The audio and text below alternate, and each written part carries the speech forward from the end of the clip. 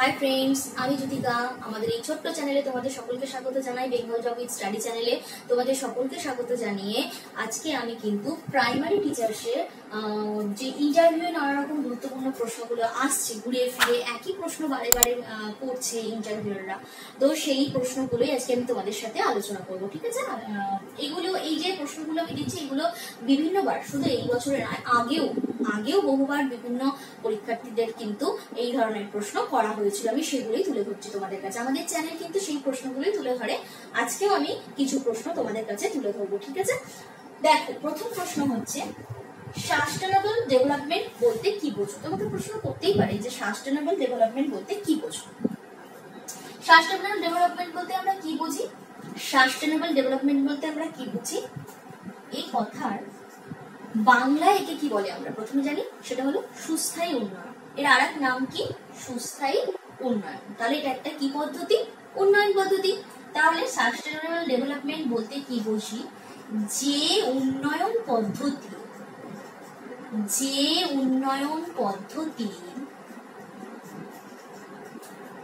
সমাজের, যে উন্নয়ন পদ্ধতি সমাজের সর্বস্তরের অর্থনৈতিক ও অর্থনৈতিক ও সামাজিক চাহিদা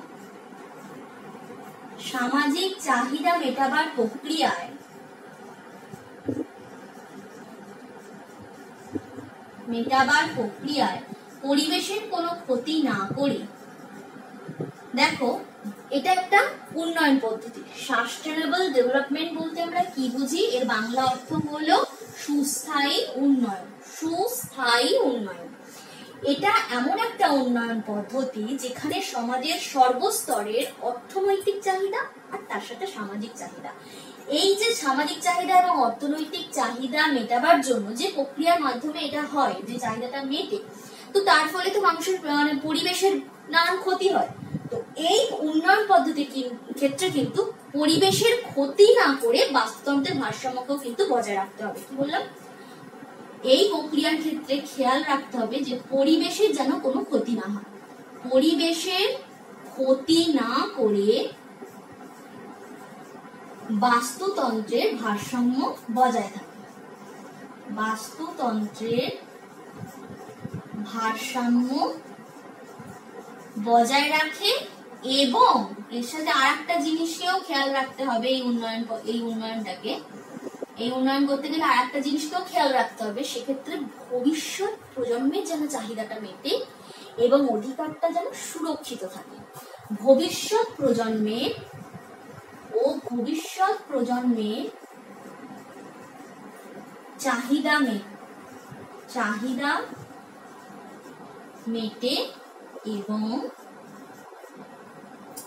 ভবিষ্যৎ প্রজন্মের চাহিদা মেটে এবং তার অধিকারটা সুরক্ষিত থাকে। এবং তার অধিকার সুরক্ষিত থাকে। এই উন্নয়নের মাধ্যমে অধিকার সুরক্ষিত থাকে। এই দিকে নজর রাখতে হবে এই উন্নয়ন পদ্ধতিকে। তাকেই আমরা কি বলব? সুস্থায়ী উন্নয়ন। তাকেই আমরা কি বলব? তাকেই বলব, তাকেই বলে সুস্থায়ী উন্নয়ন। আর এই উন্নয়নটা তখনই সম্ভব সুস্থায়ী উন্নয়ন বা ওই সাস্টেনেবল ডেভেলপমেন্ট হুম, আর এই সম্পূর্ণ উন্নয়নটা তখনই সম্ভব যখন আমরা প্রাকৃতিক সম্পদের সুস্থায়ী ব্যবহার করব। কি বললাম? যখন আমরা প্রাকৃতিক সম্পদের সুস্থায়ী ব্যবহারের মাধ্যমে কিন্তু এই উন্নয়নটা সম্ভব। প্রাকৃতিক সম্পদের সুস্থায়ী ব্যবহার বা সুরক্ষিতভাবে তার ব্যবহার করে, সুস্থায়ী ব্যবহারের মাধ্যমে কিন্তু ব্যবহারের মধ্য দিয়েই এই উন্নয়ন সম্ভব। মধ্য দিয়েই এই উন্নয়ন সম্ভব। তাহলে বোঝা গেল, প্রাকৃতিক সম্পদের সুস্থায়ী উন্নয়নের মাধ্যমেই কিন্তু এই সুস্থায়ী উন্নয়ন সম্ভব। সুস্থায়ী ব্যবহারের মাধ্যমে। এই উন্নয়ন সম্ভব। তাহলে এই সাস্টেনেবল ডেভেলপমেন্ট সম্বন্ধে যদি তোমাদের প্রশ্ন আসে, তোমরা এক কথায় বুঝিয়ে দিতে পারবে ম্যাডামদের বা স্ট্র্যাটেজি যে উন্নয়ন, এটা একটা উন্নয়ন পদ্ধতি। এটাকে বাংলায় বলে সুস্থায়ী উন্নয়ন। যে উন্নয়ন পদ্ধতি সমাজের সর্বস্তরে অর্থনৈতিক, সামাজিক চাহিদা মেটাবার প্রক্রিয়ায় পরিবেশের ক্ষতি না করে বাস্তুতন্ত্রের ভারসাম্য বজায় রাখে এবং ভবিষ্যৎ প্রজন্মের চাহিদা মেটাবার জন্য এবং তার অধিকারকে অবশ্যই সুরক্ষিত রাখে, তাকেই কিন্তু আমরা বলব সুস্থায়ী উন্নয়ন। তারপরে দেখো নেক্সট কোয়েশ্চেন আমি চলে আসছি। ল্যাড ল্যাডের পূর্ণ রূপ কি বা ফুল ফর্ম কি? এল এ ডি ল্যাড এর ফুল ফর্ম কি? এর ফুল ফর্ম হচ্ছে language acquisition language acquisition device আর এ ব্যাপারে আরেকটা কথা জেনে রাখো, এই ধারণাটা কিন্তু কে বলতে পারে যে ল্যাডের ধারণা কে প্রবর্তন করে। এই ল্যাডের ধারণা প্রবর্তন করেন নোয়াম চমস্কি। ল্যাডের ধারণা প্রবর্তন করেন নোয়াম চমস্কি। Noam Chomsky. ল্যাডের ধারণা প্রবর্তন করে নোয়াম চমস্কি। নেক্সট কোয়েশ্চেনে চলে যাচ্ছি। নেক্সট কোয়েশ্চেনে চলে এসেছি, বর্তমানে কোথায়? ভয়াবহ ভূমিকম্প হয়। এই ধরনের যে রিসেন্ট যে কারেন্ট অ্যাফেয়ার্সগুলো আছে মানে কোথায় ভূমিকম্প হয়, কোন খেলায় কে জিতলো, কি না, এইগুলো কিন্তু তোমরা সামান্য একটা সাধারণ ধারণা রাখবে। ঠিক আছে, যেটা একদম মানে খুব কমন প্রশ্ন যে বর্তমানে কোথায় ভয়াবহ ভূমিকম্প হয়েছিল? বলো তোমরা, কোথায় হয়েছিল? তুরস্কে। কোথায় হয়েছিল? তুরস্কে। এবার তুরস্কে যদি বলে পার্টিকুলার ভাবে জানতে চাই যে কোথায়, কোন তুরস্কে হয়েছিল, তখন বলবে যে দক্ষিণ ও মধ্য তুরস্কে। দক্ষিণ ও মধ্য তুরস্কে আর উত্তর ও পশ্চিম সিরিয়ায়। উত্তর ও পশ্চিম সিরিয়ায়। এই ভূমিকম্পটা ভয়াবহ ভূমিকম্প হয়েছিল। আর এখানে আমাদের ভারতের তরফ থেকে যে সাহায্য পাঠানো হয়েছিল অপারেশন দোস্ত নামে একটি সাহায্য গেছিল ভারতের তরফ থেকে। হুম, আমাদের তুরস্কে এখনও পর্যন্ত আছে। তো সেটা যদি নাম জিজ্ঞেস করে যে কি সাহায্য ভারত থেকে পাঠানো হয়েছিল, তার নামটা কি? সেই অপারেশনটার নাম কি? অপারেশন দোস্ত। অপারেশন দোস্ত পাঠিয়েছিল, ঠিক আছে? আমাদের ভারত পাঠিয়েছে। হুম। আর এটা কত তারিখে হয়েছিল? এটা তো সবাই জানো যে দু সালেই হয়েছিল। দু হাজার তেইশ সালের ছয়ই ফেব্রুয়ারি হয়। দুহাজার তেইশ সালের ছয়ই ফেব্রুয়ারি ভোর চারটে নাগাদ হয়েছিল। চারটে সতেরো মিনিট না, চারটে সাতাশ মিনিট সামথিং এরকম কিছু একটা হবে। ভোরবেলা হয়। ভোর চারটে, সতেরো মিনিট নাগাদ এই ভূমিকম্পটা হয়েছিল। দক্ষিণ আর মধ্য তুরস্কে এবং উত্তর ও পশ্চিম সিরিয়ায় দু সালের ছয়ই ফেব্রুয়ারি আর ভারত যে সাহায্যটা পাঠিয়েছিল তুরস্ককে, সেটা হচ্ছে, তার নাম হচ্ছে অপারেশন দোস্ত। ঠিক আছে? এই সম্বন্ধে তোমরা তথ্যটা পেলে। তারপর নেক্সট কোয়েশ্চেন দেখো। এটাও কিন্তু পরীক্ষায় ধরছে যে, এলপিজি গ্যাস আর সিএনজি গ্যাসের মধ্যে পার্থক্য কি? এলপিজি গ্যাস আর সিএনজি গ্যাসের মধ্যে পার্থক্য কি? প্রথমে দেখো, পার্থক্য জানতে গেলে আগে আমাদের ফুল ফর্মটা জেনে নিতে হবে। প্রথমে হচ্ছে এলপিজি ফুল ফর্মটা কি? এলপিজি ফুল ফর্ম হচ্ছে liquefied petroleum gas liquefied petroleum gas ঠিক আছে? এটি, এটা আর সিএনজি হচ্ছে full form compressed natural gas compressed natural gas ঠিক আছে? এটা একটা প্রাকৃতিক gas natural sorry compressed natural gas আর লিকুইফাইড পেট্রোলিয়াম গ্যাস হচ্ছে, এটাকে আরেক নাম দেওয়া হয়, এটা রান্নার গ্যাস নামে পরিচিত। এটি কি গ্যাস নামে পরিচিত? এটি রান্নার গ্যাস নামে পরিচিত। ঠিক আছে? রান্নার গ্যাস নামে পরিচিত আর এটি যানবাহনের গ্যাস নামে পরিচিত। যানবাহনের গ্যাস নামে পরিচিত। এখন যে বিভিন্ন গাড়িগুলো চলে, যা পেট্রোল, ডিজেল চালিত, এখন ওটা অফ করে দিয়ে যে সমস্ত অটো, টোটো এগুলো যে চলছে সেগুলো বেশিরভাগ কিন্তু এই কম্প্রেস ন্যাচারাল গ্যাস অর্থাৎ এই প্রাকৃতিক গ্যাস এর ফলে কিন্তু কি হচ্ছে? অনেকটাই দূষণ কম হচ্ছে। আর এর প্রধান উপাদান হচ্ছে কিন্তু মিথেন ঠিক আছে? এর প্রধান উপাদান হচ্ছে কিন্তু মিথেন কম্প্রেসড ন্যাচারাল গ্যাস এটা কিন্তু অনেকটাই দূষণ কম করে, ঠিক আছে? এটা যানবাহনের, যানবাহন চালানোর জন্য এটা ব্যবহৃত হয়। ওটা হচ্ছে কি? যেটা রান্নার গ্যাসে ব্যবহৃত হয়। আর একটা ব্যাপারে তথ্য দিয়ে রাখি, সেটা হচ্ছে যে এলপিজি গ্যাস যেটা রান্নার গ্যাস লিকুইফাইড পেট্রোলিয়াম গ্যাস এটা হচ্ছে কিন্তু যেহেতু এটা রান্নার কাজে ব্যবহৃত হয় কোনো তো গন্ধ নেই। তো ওই জন্য ইথাইল মার্কাপটান বলে, ওটা কিন্তু অবশ্যই সালফার যুক্ত। তো এই ইথাইল মার্কাপটানটা, এটা একটা দুর্গন্ধ, ইথাইল মার্কাপটানের একটা দুর্গন্ধ আছে। এই দুর্গন্ধযুক্ত ইথাইল মার্কাপটান গ্যাস কিন্তু এই লিকুইফাইড পেট্রোলিয়াম গ্যাসের সাথে মেলানো হয়, যখন রান্না করবে বাই চান্স যদি গ্যাস সিলিন্ডারটা লিক করে, তাহলে যাতে সাধারণ মানুষের নাকে সেই গন্ধটা আসে। হ্যাঁ সেই জন্যই কিন্তু এই রান্নার গ্যাসের সাথে ইথাইল মার্কাপটান যুক্ত, দুর্গন্ধযুক্ত ইথাইল মার্কাপটান গ্যাসকে কিন্তু এই এলপিজি গ্যাসের সাথে মিলিয়ে দেওয়া হয়। ঠিক আছে? তাহলে নেক্সট কোয়েশ্চেনে চলে আসছি, দেখো। দেখো নেক্সট কোয়েশ্চেনে চলে আসছি। হাওড়া সেতুটি কবে নির্মিত হয়েছিল? হাওড়া সেতুটি কবে নির্মিত হয়েছিল? প্রথমে দেখো, আঠেরোশো চুয়াত্তর সালে এটি কিন্তু নির্মিত হয়েছিল। তারপরে এটি নবীনীকরণ করা হয় কিন্তু উনিশশো পঁয়তাল্লিশ সালে। কবে নবীনীকরণ করা হয়? উনিশশো পঁয়তাল্লিশ সালে। তার কুড়ি বছর পরে উনিশশো পঁয়ষট্টি সালে এটার নাম রাখা হয় হাওড়া সেতুর বদলে। রবীন্দ্রনাথের, কবিগুরু রবীন্দ্রনাথের নামকরণ অনুসারে, নাম অনুসারে এটির নামকরণ করা হয় উনিশশো পঁয়ষট্টি সালে। রবীন্দ্র সেতু। এটির নামকরণ কি করা হয়? নামকরণ করা হয় রবীন্দ্র সেতু। রবীন্দ্র সেতু। ঠিক আছে নেক্সট কোয়েশ্চেনে চলে যাচ্ছি। দেখো সাত নম্বর প্রশ্নটা আমি কি দিচ্ছি? কোনো বাচ্চার ধরো জিভে আর মুখে ঘা হয়েছে।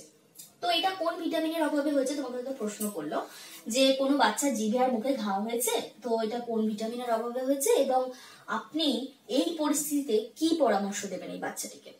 আপনি সেই পরিস্থিতিতে বাচ্চাটিকে কি পরামর্শ দেবেন? তার এটা তো খুবই সোজা, যে বাচ্চার জিভে আর মুখে ঘা হয়, কোন ভিটামিনের অভাবে বলো? ভিটামিন বি কমপ্লেক্সের অভাবে হয়। ভিটামিন বি কমপ্লেক্সের অভাবে হয়, তাই তো? ভিটামিন বি কমপ্লেক্সের অভাবে কিন্তু এই বাচ্চার জিভে ও মুখে ঘা হয়। তো আমি পরামর্শ কি দেবো? না, যদি দেখি, প্রথমে বারবার হচ্ছে তাহলে আমি প্রথমেই বলব যে তুমি চিকিৎসকের পরামর্শ নাও। চিকিৎসকের পরামর্শ নাও চিকিৎসক চিকিৎসক দেখাও, বা তার সাথে আমি এটা বলব যে কি কি জিনিস খেলে এই বি কমপ্লেক্সের অভাব বা ঘাটতিটা পূরণ হয়। যেরকম এর উদ্ভিদ উৎস, উৎসগুলো তাকে আমি সেই সম্বন্ধে জানাব। যেরকম আমি বলব যে তুমি খেতে পারো অঙ্কুরিত ছোলা, অঙ্কুরিত বীজ ঢেঁকি ছাটা চাল, হুম ঢেকি ছাটা চাল, গম, হুম, পাকা কলা, আনারস, এগুলো ইত্যাদি।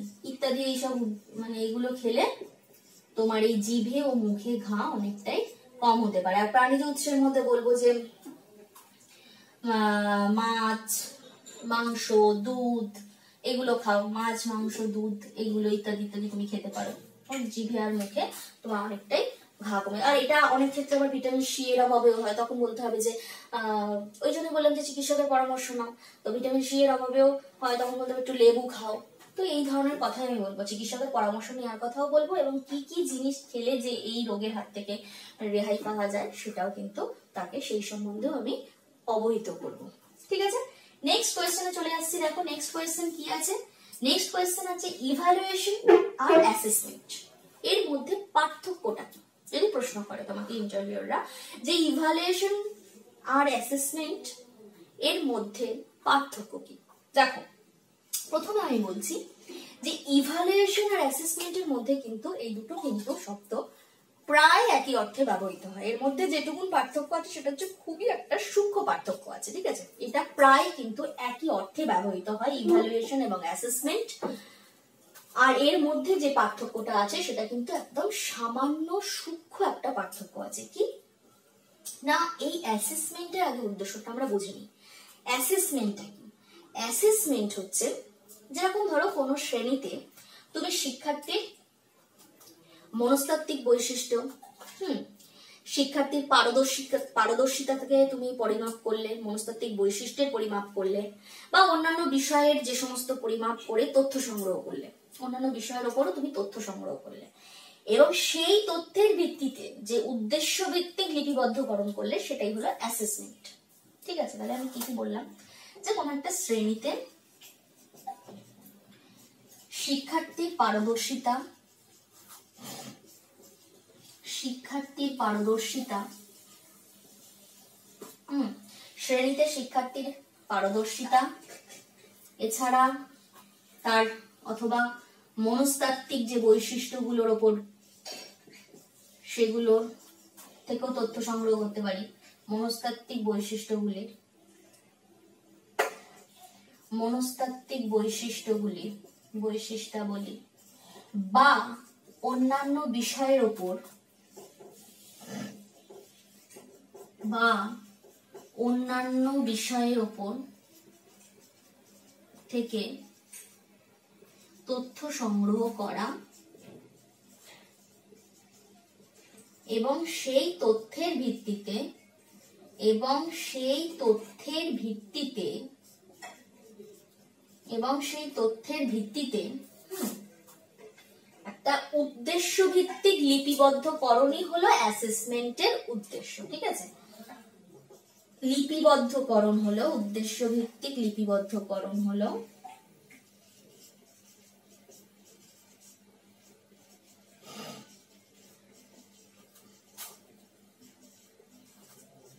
অ্যাসেস সরি এখানে দুটো এস হবে। অ্যাসেসমেন্টের উদ্দেশ্য, বোঝা গেছে? তাহলে এবার মূল্যায়নটা কি?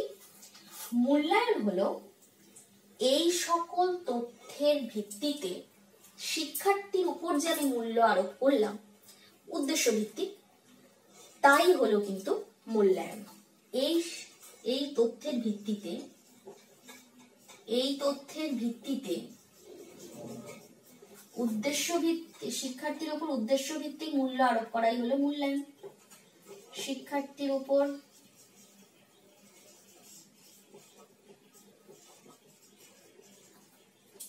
উদ্দেশ্য ভিত্তিক মূল্য আরোপ করাই হলো মূল্যায়নের কাজ।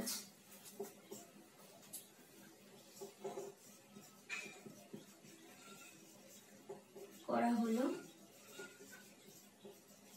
মূল্যায়নের কাজ, এটাই হলো মূল্যায়ন। তাহলে এবার আমি একটু ভালো করে বলছি। যেরকম ধরো অ্যাসেসমেন্টের উদ্দেশ্য হচ্ছে উন্নয়ন কীভাবে হবে? শিক্ষার্থীর উন্নয়ন। মানে আমি অ্যাসেসমেন্টের কাজ হচ্ছে কিন্তু শিক্ষার্থীর কীভাবে গঠন হয় শিক্ষার্থী কীভাবে উন্নয়ন হয়, সেইটা দেখা। আর মূল্যায়নের কাজ হচ্ছে কি? যে শিক্ষার্থী কতটা লক্ষ্যে পৌঁছতে পারছে কিনা তার মূল্যায়ন করা। ঠিক আছে, বোঝা গেছে? এর ব্যাপারটা মূল্যায়নের প্রকৃতিটা হচ্ছে কি বলতো? কিছুটা জাজমেন্ট জাজমেন্টালের মতো। হ্যাঁ মানে বিচার ধর্মী জাজমেন্টাল আর অ্যাসেসমেন্টের প্রকৃতিটা হচ্ছে কিন্তু অনেকটা ডায়াগনস্টিক মানে নির্ণায়ক ধর্মী। অর্থাৎ এর মধ্য দিয়ে শিশুর আরও যাতে উন্নয়ন করা যায়, কীভাবে উন্নয়ন করা যায় সেটা দেখা হয়। আর মূল্যায়নের মাধ্যমে কি করা হয়?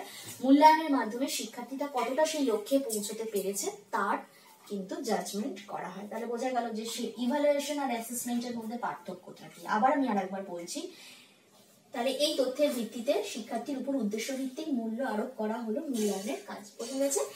আজকের মতো এই পর্যন্তই। এই প্রশ্নগুলো যদি তোমাদের ভালো লাগে, অবশ্যই কিন্তু আমাদের চ্যানেলটিকে, আমাদের এই ছোট্ট চ্যানেলটিকে আরও এগিয়ে নিয়ে যেও। তোমরা লাইক শেয়ার সাবস্ক্রাইব করতে কিন্তু ভুলো না। আর এই ধরনের প্রাইমারি সংক্রান্ত প্রচুর তথ্য মানে প্রাইমারি টেট সংক্রান্ত যে সমস্ত খবর তা আমাদের চ্যানেল থেকে কিন্তু ছাড়া হয়।